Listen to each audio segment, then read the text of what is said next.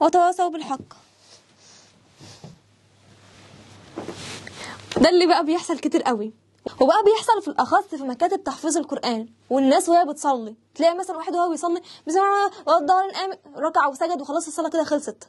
سيدنا النبي محمد صلى الله عليه وسلم قال حديث بيقول إيه بقى في إيه سيخرجون أقواما من أمتي.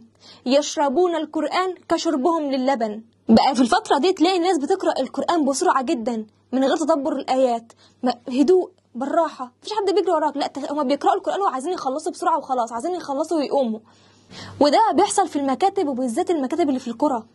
تلاقي مثلا الواحد عشان عايز يمشي تلاقيه عمال في ثانية يخلص الآيات. خلاص أنا خلصت يا شيخ أنا قايم أروح. وده طبعا ما ينفعش. لازم تقعد بالراحة وتقرأ القرآن بالراحة تتدبر الآيات. مفيش حد بيجري وراك. ده قرآن ربنا. بس كده. في رعاية الله ما تنسوش تصلوا على النبي.